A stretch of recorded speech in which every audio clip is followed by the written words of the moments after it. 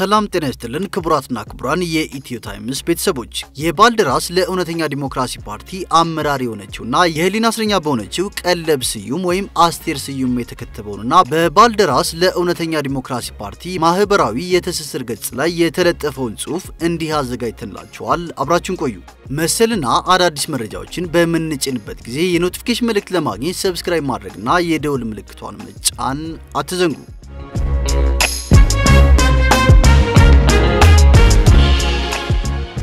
የህሊና እስረኛ ከሆነችው የባልደራሷ ቀለብ ስዩም የተላከ መልእክት። ኢትዮጵያ እየተወጋች ያለው በብዙ መልኩ ይመስላል። ለብዙ ዓመታት የተከማቹ በየወቅቱና በየጊዜው መፈታት ያለባቸው ነገር ግን በችሎታ ማነስ፣ በንቀትና አክራሪነት፣ በዝምታና ማድበስበስ የታለፈ ፖለቲካዊ፣ ኢኮኖሚያዊና ወታደራዊ ተግዳሮቶች ኢትዮጵያን በሁሉም አቅጣጫና በሁለንተናዊ መልኩ ክፉኛ እንድትወጋ አድርጓታል።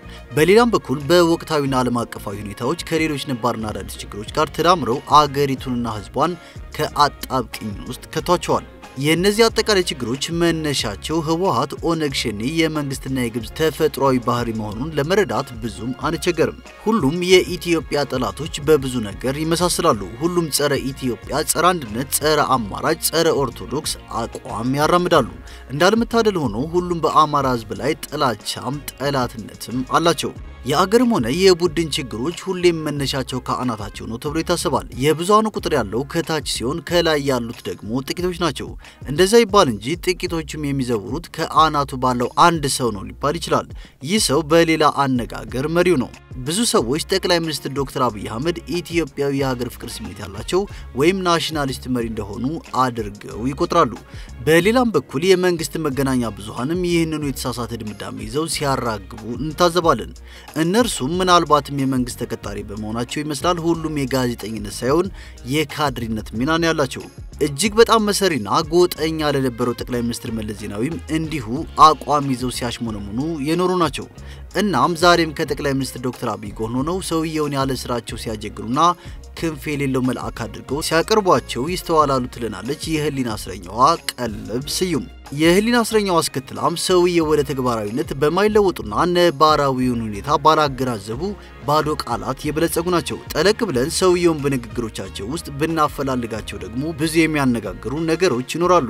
ጠቅላይ ሚኒስትሩ ዓለማችን በተካነችበት አባዜ ማለትም PRS ወይም problem reaction ና solution በተባለው የፖለቲካ ሴራ የሚመሩ ይመስላሉ።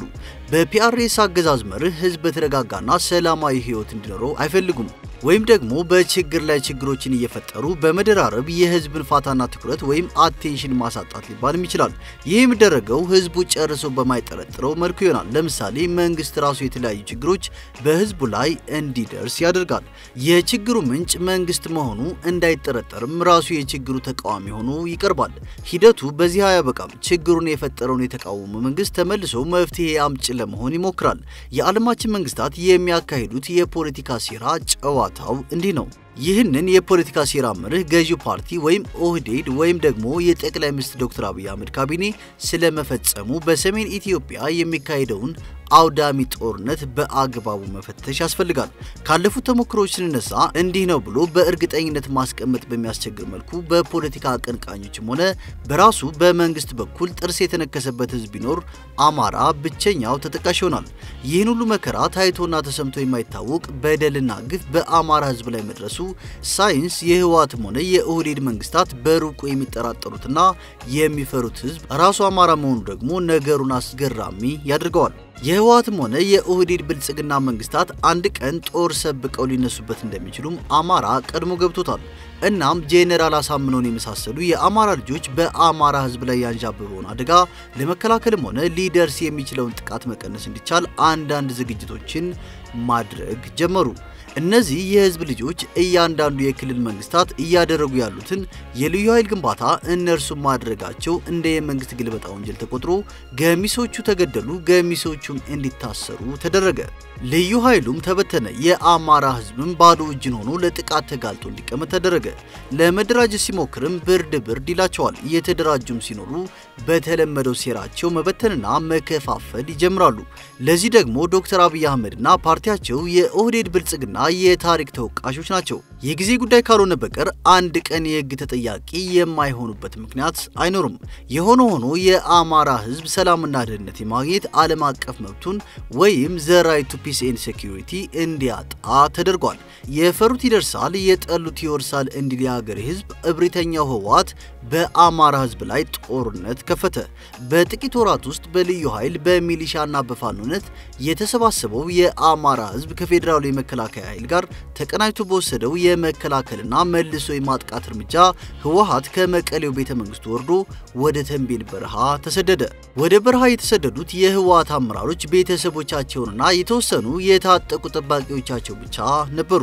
በመቶ ሺዎች የሚቆጠሩትን ሰራዊታቸውን ግን ትጥቃቸውን እንደያዙ ወደ የቤታቸው እንዲሄዱ ነበር የተደረጉት። ወይም ደግሞ በሌላ አገላለጽ በድርጅታዊ አሰራር ዳግመኛ ጥሪ እስከሚደረግላቸው ድረስ ሰራዊቱ በህዝብ ውስጥ እንዲበታተኑ ተደረገ። በወቅቱ የመንግስት ወታደሮችና የትግራይ ጊዜያዊ መንግስት ሆኖ የተቋቋመው ኃይል ቀይ ለቀይና ቤት ለቤት ጥብቅ ፍተሻ እያደረጉ የህወሓትን ወንጀለኞች አድነው መያዝ ይችሉ ነበር። አልሆነም። ይሁን እንጂ ጦርነቱ እንዲያልቅ ስላልተፈለገ ይህን እርምጃ ላለመውሰድ ጠቅላይ ሚኒስትሩ አቅማሙ። ከዚያም በፊት መቀሌን ከቦ የያዘው የፌዴራል መንግስቱ የጦር ኃይል የህወሓት የወንበዴን ቡድን ከመቀሌ እንዳይወጣ ማድረግ ይችል ነበር። ይሁን እንጂ በመቀሌና በአካባቢው ውጊያ ላለማድረግ ሲባል ወይም ደግሞ ምናልባትም ለመቀሌ ግዑዝ ህንፃዎች ደህንነት በማሰብ አሊያም ጦርነቱ እንዳያልቅ በመፈለግ ሊሆን ይችላል የህወሓት ጦር መንገድ ተከፍቶለት ወደ ተንቤን በረሃ ያለምንም ችግር ሰተት ብለው እንዲሄዱ ተመቻችላቸው። ይህን እውነት ደግሞ ጠቅላይ ሚኒስትሩም ሆኑ የጦር ኃይሎች ኤታ ማዦሩ እንደ ታላቅ ጀብዱ በየመገናኛ ብዙሃኑ ሲያወሩ የታዘብነው ጉዳይ ነበር። ከፊተኛው ጥፋት የኋለኛውን ይብሳል እንዲል ታላቁ መጽሐፍ የትግራይ ህዝብ ከኋላችን ወቅቱናል፣ አሊያም በተደጋጋሚ እንደተባለው የትግራይ ገበሬ እርሻውን እንዲያርስና የፋታ ወይም የጥሞና ጊዜ መሰጠት በሚሉ ተልካሻና ያልረቡ ምክንያቶች ጦሩ ትግራይን ለቆ እንዲወጣ ተደረገ። ያኔ ነበር የህወሓት አመራሮች ጦርነቱን በአማራ ክልልና ህዝብ ላይ እንደሚያካሂዱና ሂሳብ እንደሚያወራርዱ እቅድ መንደፋቸውን በአደባባይ የተናገሩት። ከዚህ በኋላ የነበረው ሁኔታ ዶክተር ደብረ ጽዮንና ዶክተር አብይ እየተማከሩ ያደረጉት ጦርነት ይመስል ነበር። በመጀመሪያው ዘመቻ እያንዳንዱ ጄኔራል በተገኘው አጋጣሚ ሁሉ ህወሓት ዳግመኛ የኢትዮጵያን መንግስት መፈተን በማይችልበት ደረጃ ተመቷል፣ ካስፈለገ ዛሬውኑ ተመልሰን መቀሌ መግባት እንችላለን እያለ መደንፋቱን ተያያዘው። ይሁን እንጂ ህወሓት ዳግመኛ አንሰራርቶና ህዝባዊ ማዕበል ፈጥሮ ጦርነቱ በአማራ ክልል ውስጥ እናድርገዋለን ብሎ እንደዛተው እቅዱን ተግባራዊ ማድረግ ጀመረ። የህወሓት የህዝብ ማዕበል ከሰቆጣ ተነስቶ በላሊበላ አድርጎ ኮምቦልቻና ሰሜን ሸዋ ድረስ አጣየንና ሸዋሮቢትን ተቆጣጠረ። ብዙ ዘግናኝ ግፍም ፈጸመ። ይህ ሁሉ ሲሆን መከላከያ ሰራዊቱ በማይገባን ምክንያት በሚሰጠው ትዕዛዝ መሰረት ወደ ኋላ ያፈገፍግ ነበር። እንደሚታወቀው የፌዴራሉ መከላከያ ሰራዊትና የአማራ ክልል ህዝባዊ ታጣቂዎች ባካሄዱት የመጀመሪያው ዘመቻ ላይ መላውን ትግራይ ለመቆጣጠር የፈጀው ጊዜ ሶስት ሳምንታት ብቻ ነበሩ። አሁን ደግሞ የአፋር አራት ወረዳዎችንና የወሎ ዞን እንዲሁም እስከ ሸዋሮቢት የተቆጣጠረውን የትግራይ ህዝባዊ ማዕበል ጦር ለመደምሰስ የፈጀው ጊዜ ከ15 ቀናት ያልበለጠ ሆኖ ተገኝቷል። የአጠቃላይ ሁኔታ አንድ ጥያቄ ያጭርብናል። የትግራይ አማጺ ጦር የአፋርና የአማራን ክፍል ሰፊ ይዞታ ለመቆጣጠር ወታደራዊ አቅሙ ነበረ ወይ ብለን ስንጠይቅ መልሱ የለውም የሚለው ይሆናል። እንዲያውም ለንጽጽር የሚቀርብ አይደለም። እናስ ታዲያ ከ500 ኪሎ ሜትሮች በላይ ተጉዞ እስከ ሰሜን ሸዋ እስከሚደርስ ለምን ተጠበቀ? የገበሬዎችን ሞፈርና ቀንበር፣ የትምህርት ቤቶችን ወንበርና ጠረጴዛ እያነደደ ሲሞቅና ለምግብ ማዘጋጃ ማገዶነት ሲጠቀም ለምን በዝምታ ታየ ብለን ስንጠይቅ እንቆቅልሹ በቀላሉ የሚፈታ አይደለም። በአጭር አገላለጽ የአማራ ሕዝብ የፖለቲካና የኢኮኖሚ ክስረት እንዲደርስበት የሞራልና የስነ ልቦና ውድቀት እንዲፈጠርበት ሚስቱና የደረሱ ሴት ልጆቹ በፊቱ ላይ በመደፈራቸው ዳግመኛ አንገቱን ቀና አድርጎ እንዳይሄድ በከፍተኛ ጥናትና ቅንብር የተደገፈ ፖለቲካዊ ሴራ ተፈጽሞበታል። አሁንም ቢሆን ህወሓት የአማራ ህዝብ ስጋት እንደሆነ እንዲቀጥል የሀገር ውስጥም ሆነ የውጭ ኃይላ ስውር እገዛ የተደረገለት ይመስላል። ምክንያቱም ህወሓትን ለአንዴና ለመጨረሻ ጊዜ እንዳይነሳና እንዳያንሰራራ አድርገን እንደመሰዋለን የሚለው የኢትዮጵያ መንግስት ፉከራ ከባዶ ፉከራነት የዘለለ አልሆነም። ህወሓትን ያለበት ቦታ ድረስ ሄዶ ለአንዴና ለመጨረሻ ጊዜ ማስወገድ የተፈለገ አይመስልም። ህወሓት ደግሞ ሙሉ በሙሉ ካልተወገደ በስተቀር ጊዜና አጋጣሚውን ጠብቆ ጥቃት መሰንዘሩ የማይቀር ይሆናል። አሁንም በጎንደርና በአፋር ኮሪደሮች በኩል እየሆነ ያለው ይሄው ነው። የህወሓት አደገኛ ቡድን አውዳሚ የሆነውን ጦርነት አማራጭ እንደ የመኖር ህልውና ወይም existence ወይም እንደ ቢዝነስ አድርጎ ያየው ይመስላል። አንዳንድ ቅን አመለካከት ያልነጠፈባቸው ወገኖች የህወሓትን ጦር ከወሎና ከአፋር ለማውጣት የተቻለው ጠቅላይ ሚኒስትር ዶክተር አብይ አህመድ ወደ ግንባር በመዝመታቸው ነው ይላሉ። ይህ ድምዳሜ ለእኔ ብዙም አሳማኝ አይደለም። ምክንያቱም ጠቅላይ ሚኒስትሩ በፊትም የጦር ኃይሎች ጠቅላይ አዛዥ ናቸው። አዛዡም አስተባባሪውም የጦር እቅድ ነዳፊውም እርሳቸው ነበሩ። ጦሩን ግንባር ድረስ ሄደውም ሆነ በአዲስ አበባ ተቀምጠው እንዳሻቸው የሚዘውሩት እርሳቸውና እርሳቸው ብቻ ናቸው። ስለዚህ በመሪነት ሳይንስ ሲታይ ግንባር ድረስ መሄዳቸውም ሆነ አለመሄዳቸው ከጉንጭ አልፋነት በቀር ሌላ መፍትሄ የለውም። ወይም ደግሞ የቴዎድሮስና የዳግማዊ ምኒልክን የጦር ውሎና የጀግንነት ታሪክ ለመሻማት የተደረገ ነው ሊባል ይችላል። የታሪክ ሽሚያው ካለፉት ንጉሠ ነገሥታት ጋር ብቻ አይደለም። ጠቅላይ ሚኒስትሩ የአፋርና የአማራ ልዩ ኃይል ሚሊሻና ፋኖን ታላቅ የጀግንነት ተጋድሎ እንዲሁም የመከላከያ የጦር ጄኔራሎቻቸውን የአመራር ብቃትና የአሸናፊነት ጥበታቸውን ጭምር መና እንዳስቀሩት ነው የሚሰማኝ። የጠቅላይ ሚኒስትሩን ፊት እየተመለከተ የሚጀግን ጦር ከሆነ ያለን መከላከያና የፍትህ አካላቱን ገለልተኛ ጥያቄ ውስጥ የሚከተው ይሆናል። ጠቅላይ ሚኒስትር ዶክተር አብይ አህመድ ጦርነቱ በአማራና በትግራይ በአፋርና በትግራይ ወሰን ላይ እንዲቆም የፈለጉበት መሰረታዊ ምክንያቱ ምንድን ነው? የትግራይ ህዝብን በህይወት የመኖር መብት ስለሚያከብሩ፣ የዓለም አቀፉ ማህበረሰብ ተጽዕኖ ስለሚፈሩ፣ ለአማራና ለአፋር ህዝብ ደንታ ቢስ በመሆናቸው ወይም የመጡበት የኦሮሚያ ክልል ከሌሎች ክልሎች ገዝፎና ጎልቶ በሁሉም አቅጣጫ ሁሉንም በረዥም ርቀት እንዲመራ በመፈለጋቸው ይሆን የሚሉትን ጥያቄዎች በገረገር እይታ ስንመለከተው መልሱ ሁሉም የሚለው ሊሆን ይችላል። ይሁን እንጂ ለርዕሰ ጉዳዩ አጽንኦት ሰጠን በማስተዋል ብንመረምረው ዋነኛ ምክንያቶቹ የጠቃቀስናቸው ላይሆኑ ይችላሉ። ዶክተር አብይ አህመድ ማንም ሰው ሊገምተው ከሚችለው በላይ ስልጣን ይወዳሉ። ይህ ስልጣንን የሙጥኝ ብሎ የመፈለግ አዝማሚያ ደግሞ ዝነኝነትን አጥብቆ ከመሻት ይመነጫል። በሁሉም አቅጣጫና በሁሉም ርዕሰ ጉዳይ ላይ የመነጋገሪያ ማዕከል የመሆን ቀቢጸ ፍላጎት አላቸው። እውቅ ደራሲ፣ እውቅ የጦር ጄኔራል፣ እውቅ የፊልም አክተር፣ የአረንጓዴ ልማት ቁጥር አንድ ጀግና፣ ቁጥር አንድ ፈላስፋና ፖለቲከኛ መባልን ይሻሉ። በሁሉም ነገር ሁሉንም ማስተማር ይዳዳቸዋል። በቃ በሁሉም ነገር እርሳቸው የሚሉት ብቻ ትክክለኛ እንደሆነ አድርገው ራሳቸውን አሳምነዋል። በአጠቃላይም በእነዚህ ሁሉ ዝነኛ ሆኖ ለመገኘት ብቸኛው ምርጫ የታሪካዊቷ ኢትዮጵያ ጠቅላይ ሚኒስትር እንደሆኑ መቀጠል ከቻሉ ብቻ ይሆናል። ሰውየው በያዙት የጠቅላይ ሚኒስትርነት ስልጣን ለመቀጠል ያስችለኛል የሚሉትን ነገር ሁሉ አያደርጉም አይባልም። እስኪ የተወሰኑትን በወፍ በረር እንቃኛቸው። አንደኛ፣ በመንግስታዊ ካቢኔያቸው በተለይም በፖሊስና በመከላከያ በህዝብ ደህንነትና አስተዳደር በመሳሰሉ ወሳኝ አካባቢዎች የኦህዴድ ብልጽግና አባላትን በአብዛኛው የመመደብ አዝማሚያ ይታያል።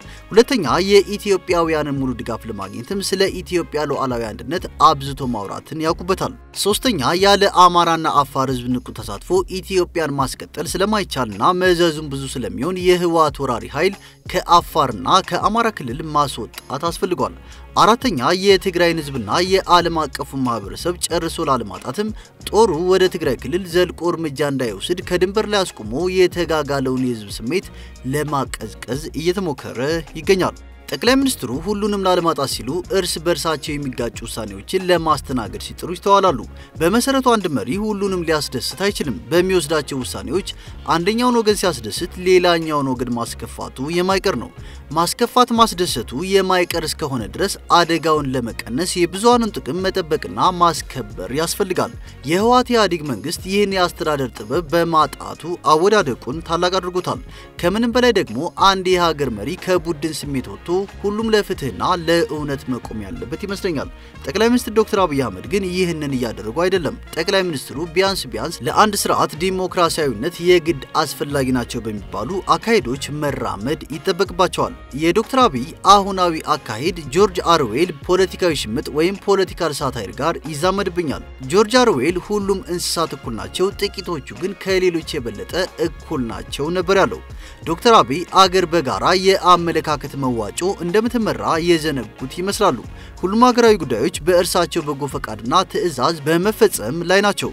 አዋጪ አማራጮችን እያቀረበ የሚሞግታቸው ሰው በመንበረ ስልጣናቸው ዙሪያ መኖሩን በበኩሌ እጠራጥራለሁ። ጠቅላይ ሚኒስትሩ ሁሌም ልክ ናቸው የሚል አይነ ጥላ ሰዎቻቸውን እንደተጠናወተ ይሰማኛል።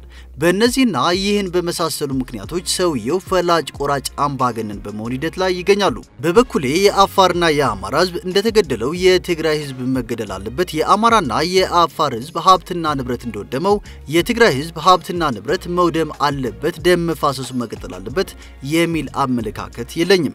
ነገር ግን ጦርነቱ ጠቅላይ ሚኒስትሩ ሲፈልጉ የሚያስቆሙት ሲፈልጉም የሚያስቀምጡት መሆን እንደሌለበት እረዳለሁ። የነ ደብረ ጽዮንና ጌታቸው ረዳ ተፈጥሯዊ ባህሪ እስከ ዕለተ ሞታቸው ድረስ በጦርነትና በተግዳሮቶች ውስጥ መኖርን የህይወት መርሃቸው አድርገው ተከትለዋል። ህወሓት በመላው ዓለም ከሚገኙ አማጽያን ሁሉ ይለያል። ህወሓት ለጥፋትና ለውድመት ብቻ የተፈጠረ የወንጀለኞች ስብስብ ነው። ህወሓት የአእምሮ ህሟኖች ስብስብ ነው። ሰዎችን ገድሎ ቆዳቸውን የሚገፍ የሚያቃጥል፣ እንዲሁም እንስሳትን ሳይቀር በጥይት ደብድቦ የገደልና ያቃጠለ ጤናማ አእምሮ ያለው ቡድን አይቼም ሰምቼም አላውቅም። ለምሳሌ አልሸባብ የተባለው አማጺ ቡድን ታላቋ ሶማሊያን መመስረት ዓላማው ነው። ቦኮ ሃራምና አይሲስን የመሳሰሉ አማጽያኖችም ግባቸው እስላማዊ መንግስት መመስረት ይሆናል። የትግራይ ህወሓት ግን እስከ ሲኦል ድረስ ወርዶም ቢሆን ኢትዮጵያን ማፍረስ፣ ከአማራ ህዝብ ጋር ሂሳብ ማወራረድ፣ የአማራና የአፋር ሴቶችን አስገድዶ መድፈር የመሳሰሉ የእብደት ተግባራትን መፈጸም ዓላማው ነው። ታዲያ ይህን ለመሰለው ጸረ ህዝብና ጸረ ኢትዮጵያ ቡድን በህልውናው እንዲቆይ የፋታ ጊዜ መስጠት ምን ይባላል? ህወሓት የአፋርንና የወሎን ምድር በኃይል እንዲለቅ ከተደረገ በኋላም ጦር መስበቁን አሁንም አላቆምም። ከዚህ በኋላ ህወሓት በሁመራና በአፋር በኩል መተላለፊያ ኮሪደር ለማግኘት እንደሚፋለምም ሶስተኛውን እቅድ ነድፏል። እናስ የወታደሩ የውጊያ ተነሳሽነት እስኪቀዛቀዝ መጠበቅ ጦርነቱ እንዳያበቃ ከመፈለግ የመነጨ ነው ቢባል ስህተት ሊሆን ይችላል አይመስለኝም። የአማራና የአፋር ህዝብ በጦርነቱ ክፉኛ ተጎድተዋል። ከደረሰበት ኢኮኖሚያዊ ውድመት በቀላሉ ያገግማል ተብሎ አይጠበቅም። ምናልባትም እንደገና ለማገገም 30ና 40 ዓመታት ያስፈልጉታል። የትግራይ ህዝብ ህፃናት፣ አዋቂ፣ ወንድ፣ ሴት ሳይል እስከ መጨረሻው መዋጋት እንዳለበት አንዱ ተዋግቶ በሚያቆየው የትግራይ መሬት ሌላው ያልተዋጋው ህዝብ መኖር እንደማይችል አስጠንቅቋል። ይህ ምን ማለት እንደሆነ የመከራው ገፈት ቀማሽ የሆነው የአማራና የአፋር ህዝብ በሚገባ ያውቀዋል። ማንም ሰው በአምላክም በብሔራዊም ሆነ በዓለም አቀፍ ህግ ራሱን ከማንኛውም ጥቃት የመከላከል መብት አለው። ህወሓት እስከ መጨረሻው የአማራና የአፋር ህዝብ ዘላለማዊ ጠላት ነው። በመሆኑም የአማራና የአፋር ህዝብ ለራሱ ህልውና ሲል ለደቂቃም ቢሆን ትጥቁን ሳይፈታ ለፍልሚያ መዘጋጀት አለበት።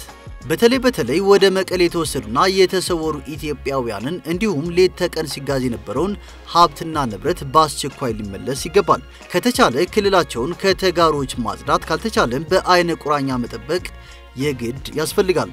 እግዚአብሔር ኢትዮጵያንና ኢትዮጵያውያንን ከመጨረሻው ዘመን መቅሰፍቶች ይጠብቅ። አሜን። ስላዳመጣችሁን እናመሰግናለን።